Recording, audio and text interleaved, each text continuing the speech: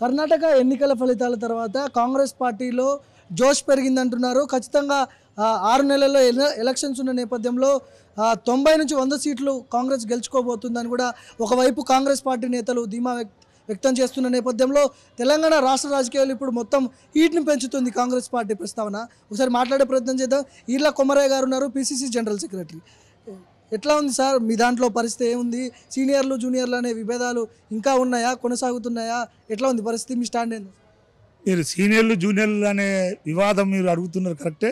నిన్న ఏదైతే PCC president గారు నిన్న మీటింగ్లో ఏం చెప్పాడు అవసరమైతే పది మెట్లు నేను వెనుకకు దిగుతా అందరినీ కలుపుకుపోయడానికి అనే ఉద్యోగంతో ఇప్పుడు పెద్దలందరూ కలిసే ప్రయత్నంలో ఉన్నారు.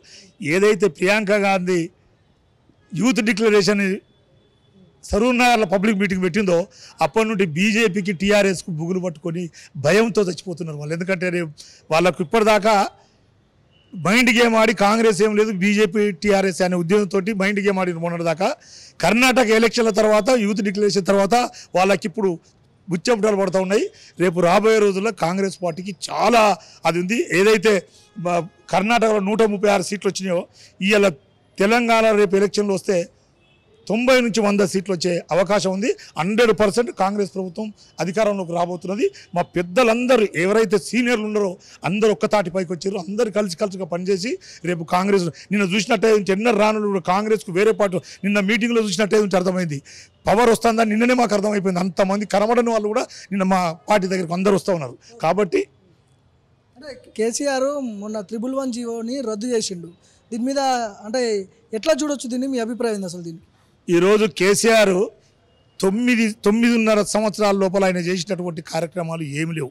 కమిషన్ల కోసమో లేకపోతే ఏది మిషన్ బగారదాని అవన్నీ పైసలు దండుకునే విషయం లోపల తర్వాత ఈ ట్విన్ సిటీస్ మీద హైదరాబాద్ రంగారెడ్డి ఏదైతే ఈ ల్యాండ్స్ ఉన్నాయో వాటి మీద కన్నుబడి ఇలా వాళ్ళ బలగాలను పెంచడానికి ఆయన ఆయన కుటుంబాలను పెంచుకోవడానికి ఈ రియల్ ఎస్టేట్ పెట్టి జాగాలను నమ్మి కోట్ల రూపాయలు లక్షల కోట్ల రూపాయలు సంపాదించే ఉద్దేశంతో త్రిపుల్ వన్ జీవో రద్దు చేశారు. ఈ త్రిపుల్ వన్ జీవో కాంగ్రెస్ ప్రభుత్వం ఆ రోజు ప్రజల కోసం ఆలోచించి చెరువులు కుంటలు నిండి తాగునీటిలో కలు ఇది కలుషితం ఉండద్దు మంచిగా ఉండాలి ఇక్కడ ప్రజలనే ఉద్దేశంతో ఆ యొక్క జీవోను తీసుకొస్తే ఇవాళ ఆ జీవోను తుంగ త్రిపుల్ వన్ జీవోను తుంగలో దొక్కి ఇవాళ ఉన్న భూములను నమ్మి ఆ ఫ్యాక్టరీలు అవన్నీ పెట్టి ఉన్న నీళ్ళని కలుషితం చేసుకుంటూ ప్రజల ప్రాణాలతో చెలగాటమాడుతున్నటువంటి బీజేపీ ప్రభుత్వానికి రాబోయే రోజుల్లో కాంగ్రెస్ కాదు ప్రజలు కూడా సై- సరైన గుణపాఠం చెప్తారు. ప్రజలు ఏడుస్తూ ఉన్నారు. ఇవాళ మాకు ఒక మంచి నీరు తాగడానికి ఇలా వాస్తవంగా ట్విన్ సిటీస్లో తాగడానికి నీరు కావాలి మనకు. అది దృష్టి పెట్టుకుని గతం లోపల కాంగ్రెస్ పార్టీ ఎన్నో అభివృద్ధి కార్యక్రమాలు చేస్తే ఇలా ఈయన వచ్చి దాని తుంగలో దొక్కి ఇలా డబ్బులు సంపాదించే ఉద్దేశంతో ఇలా త్రిపురం జీవనం రద్దు చేయడం జరిగింది. ముఖ్యంగా ఇప్పుడు దశాబ్ది ఉత్సవాలు చేస్తున్నాడు జూన్ రెండో తారీఖు నుంచి ఇరవై ఒక్క రోజులు దశాబ్ది ఉత్సవాలు చేస్తున్నాడు. మరి దీని మీద ఎలా చూడొచ్చు దీన్ని? మీ అభిప్రాయం దీన్ని ఈరోజు దశాబ్ది ఉత్సవాలను ఆయన చేయడానికి ఏం లేదు. అల్లుడు సొమ్ము ఏదో అత్త సొమ్ము అల్లుడు దానం చేసినట్టు. గవర్నమెంట్ దగ్గర ప్రజల పైసలన్నీ పెట్టి వీళ్ళ శతాబ్ది ఉత్సవాలను పెడతా ఉన్నారు. ఏది పైసలను ఏ రకంగా చేసుకోవాలని? రేపు ఎలక్షన్లను దృష్టి దృష్టిలో పెట్టుకొని వంద అబద్ధాలు పెళ్ళి చేయనట్టు వెయ్యి అబద్ధాలు కొడుకును సీఎం చేయడానికి ఆయన ఏమేమి డ్రామాలు వేస్తున్నారో ప్రజలకు అర్థమవుతున్నది.